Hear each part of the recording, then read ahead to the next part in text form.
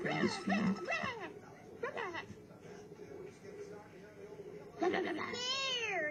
Scared? How do you know? Oh, right, because his eyes got really big and his mouth went kind of like. See, he was scared because she was scaring him with her monster mask.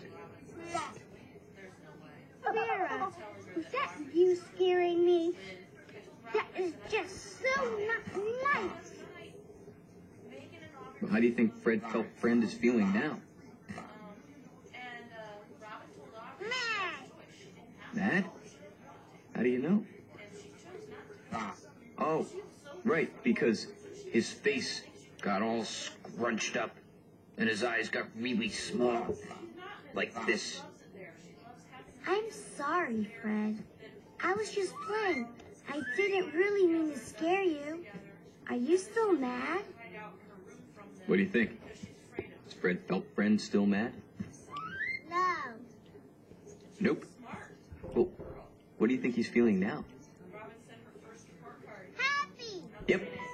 Happy. He got a hug. That's happy. Thanks for helping, Steve. Oh. Okay. I'm feeling a little embarrassed. So we should probably go look for more Blue's Clues.